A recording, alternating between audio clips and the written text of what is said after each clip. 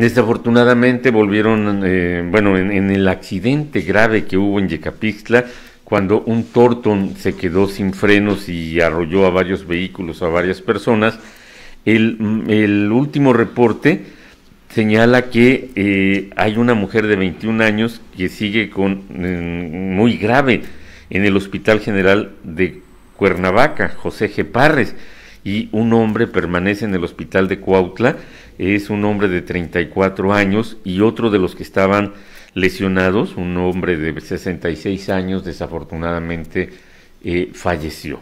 Sigue cobrándose vidas ese terrible accidente donde un Torton perdió los frenos y provocó este resultado.